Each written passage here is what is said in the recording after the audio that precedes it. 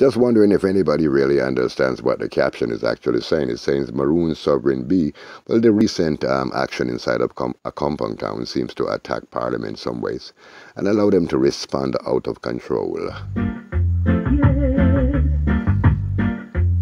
So this kind of response maybe they were expecting to happen somewhere about 2030, but really it happens at uh, 2021 nine years before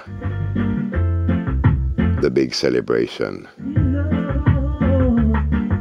of the 42 World Bank conglomerates manipulating what was Jamaica, now the new Maroon sovereign state.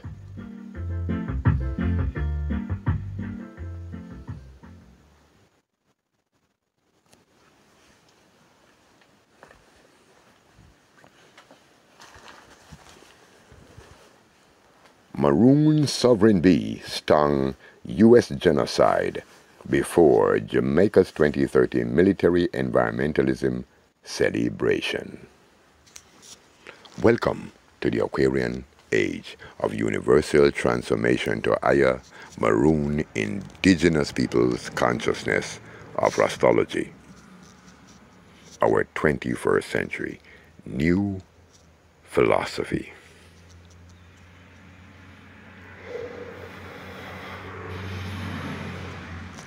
To better understand the true story behind Jamaica's government 2030 Anansiism theory, one would need to start with the unspoken 1991 UN intervention and therefore revisiting of some 11,900 land treaties, including our now questionable Maroon Treaty.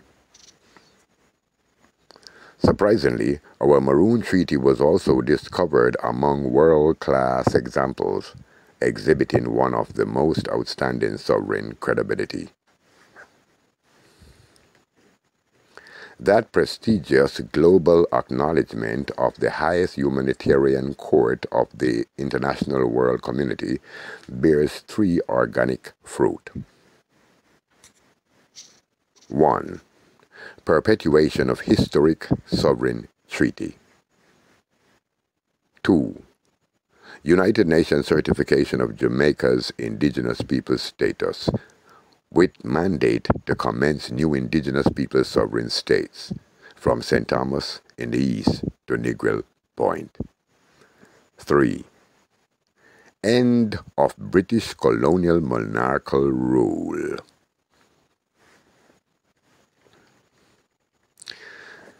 The United Nations mandate for Maroon to commence their creation of new indigenous people-free sovereign state was supported by the unspoken reality of the two monumental Maroon land lease made to King George II of England, France and Ireland by our sovereign lord Eligimo Cudjoe in the late 1700s had become to a perpetual end.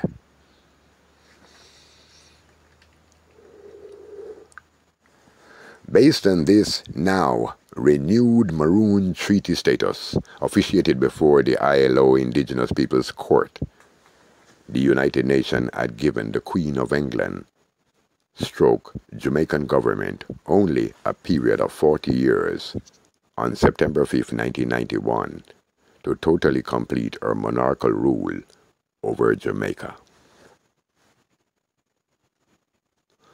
For $2 million, I bet not one of our so-called intellectual in academia can now tell how the government 2030 vision evolved.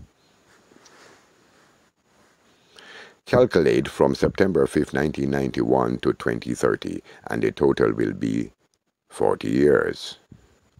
Just to say goodbye. Calculate this year's date 2030 from the United Nations recommended 40 years.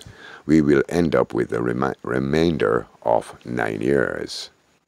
In the meanwhile, neither the Jamaican government and or the United Nations had not in the, in the light of law make this very vital and strategic information officially or unofficially available to the wider Jamaican public. That subversion of the Jamaican Constitution left us standing at the crossroads of genocide. As a result, we are walking blindly into our very own destruction of globally known neocolonialism, secondary slavery. The neocolonial brand of secondary slavery is expected to last for another 400 years. This mark of 400 this mark 400 years of slavery is commonly known in the fundamentals of Rastafarian doctrine whereby Jamaica is referred to as Egypt and the Rastafarians were in 400 years of colonial enslavement that would end at the now transitory period before the beginning of this new millennium. Many wise minds and truth seekers have long shared this same Zionist viewpoint. No wonder why our dear Bob Marley says that men and people will fight you down when you see Jah light.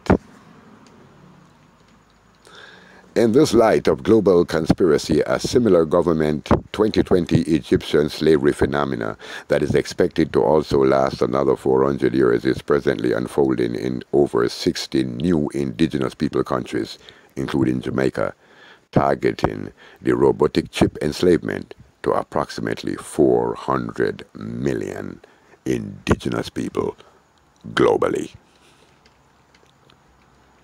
Approximately 30 of these United Nations certified indigenous people new states, including Nicaragua, Brazil, and Venezuela, have actually completed the process of moving from once colonial status to their new free sovereign indigenous people state.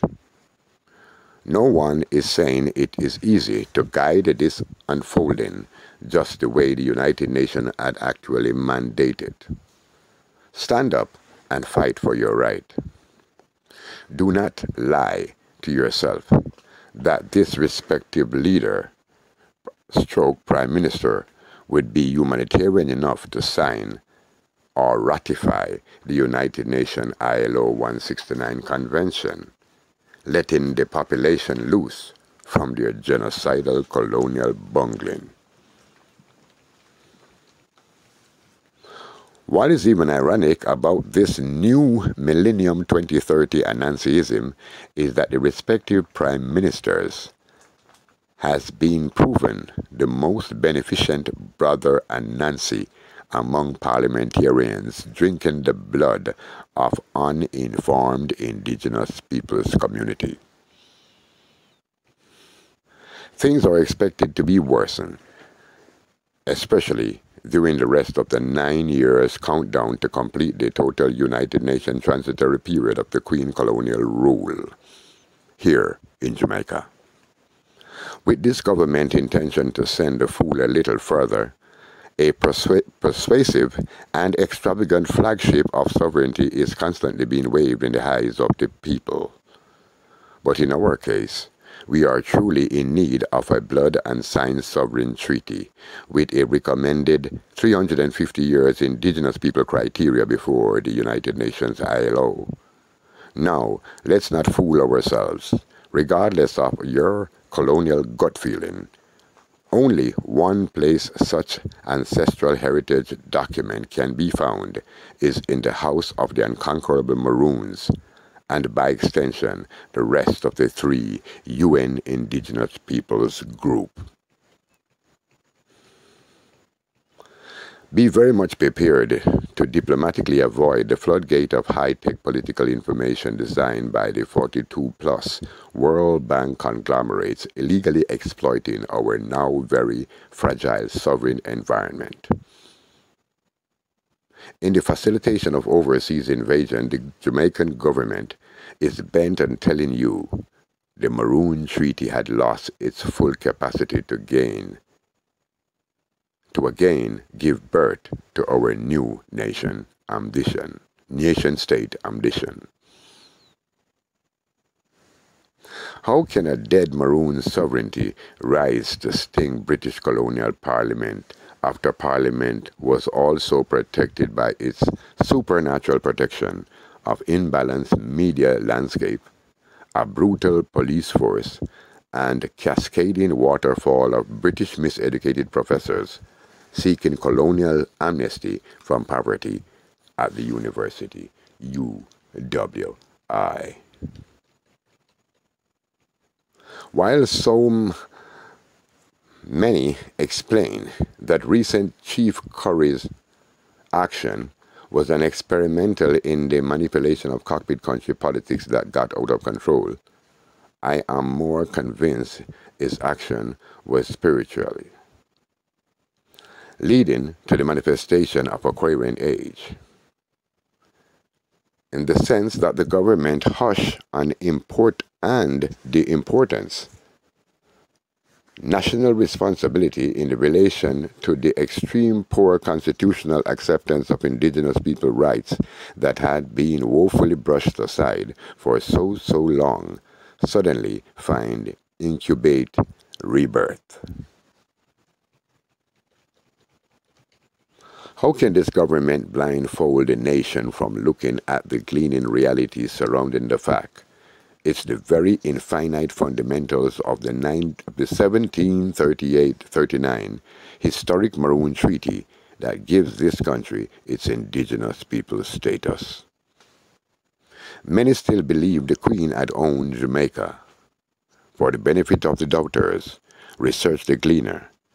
The year 2012, there was an unforgettable front page article entitled, Give Us Back the Queen. Since then and beyond, she, the British Crown, has been playing a Nancyism with our minds. I am predicting that this Kabbalistic rebirth in the quest for in the quest to gain our ancestral sovereign re resilience to once and for all take into serious consideration remaining nine years countdown to complete ratification of this our United Nations mandated indigenous people law to immediately protect this country. We must not fail if we do not change this situation now, we would not be able to correct this millennium mishap until the next 400 years.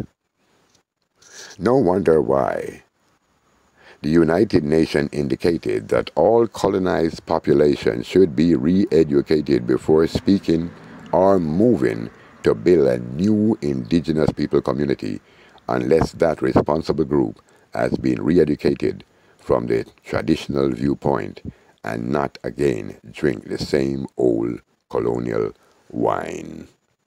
Wine, wine.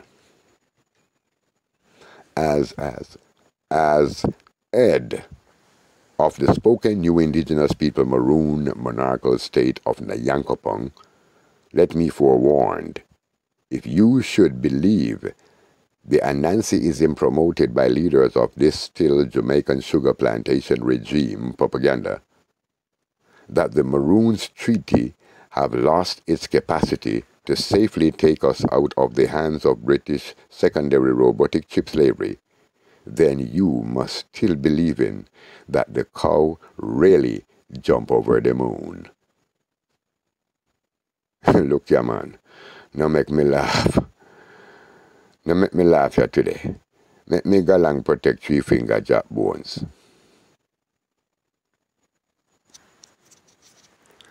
This is yours truly, OG Rastology Francis, Maroon Paramount Chief and Protector of the Cockpit Country Maroon Sovereign State Law.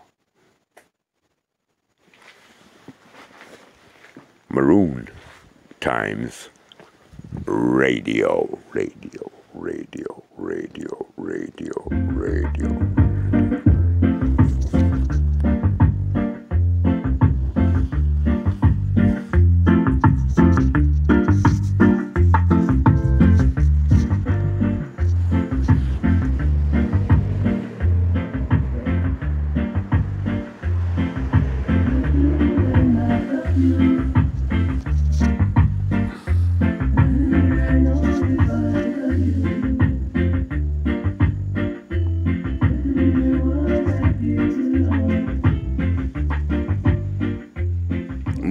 More persons are already calling, calling the line.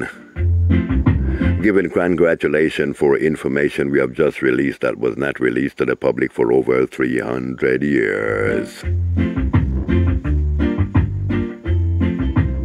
A lot of persons say they did not know that the country was classified to be under the United States genocide.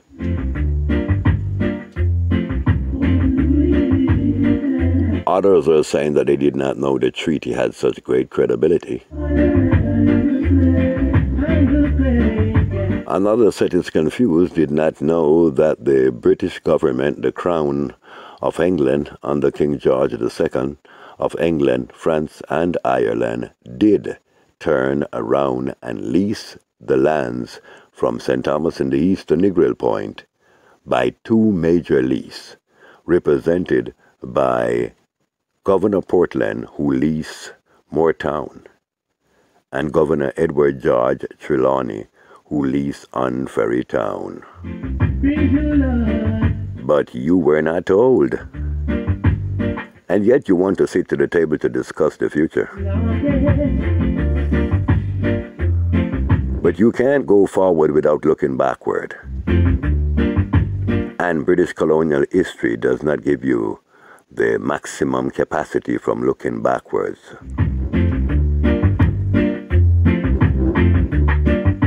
So you're playing the similar phenomena of Marcus Garvey's expression, a people without a knowledge of their history is like tree without roots. So this evening, my friend, I will remind you that most persons says, well, you know, Rastology just like to talk and don't want to listen to anybody. Well, not really so. But when there is so much information that is hidden, that you have been researching for so many years, then you just want to bring it out to the people. Because if this much information is in the hands of the people, then of course we'll have securing a better future. This is yours truly, OG Rastology Francis, cultural information consultant, and uh, working to make the place a more aware environment. See, people talking about war, but the greatest part of the war is before the war. And it's called awareness. And when you spell it, you get right down to it. A, A, W A R, awar then ness. Awareness. Awareness.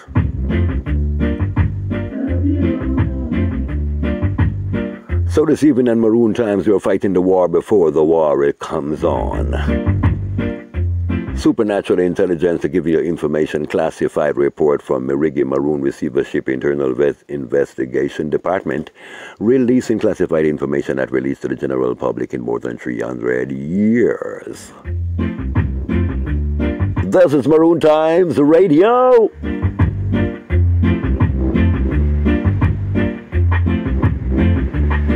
If I'm not on the internet, you can get me on your stereo.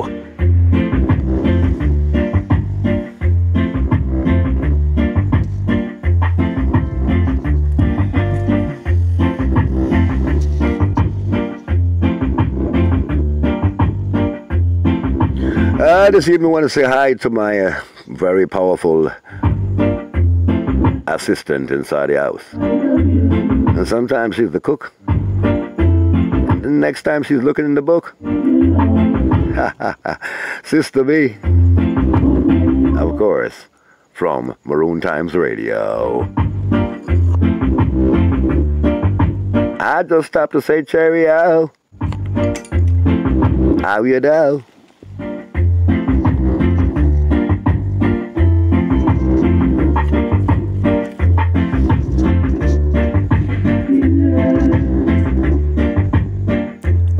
Inside a brand new maroon sovereign state, hushing the people who is having the experience from COVID. From the new maroon sovereign state.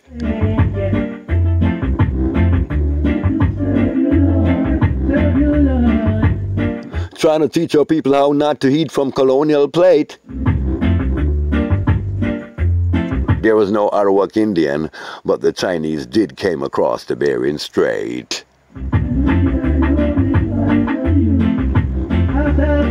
Say Maroon have no army, eh? Maroons have no guns. But moving the mountain, I've got so much faith. I'm not afraid of the United States. Human Sheila Three Finger Jack Monument protecting the bones of Three Finger Jack from C-Mex event invasion and so-called South Coast Highway Development Project with very poor environmental procedure. All of a sudden the National Work Agency becomes the land acquisition officer. Imbalanced procedures are taking place inside of St. Thomas.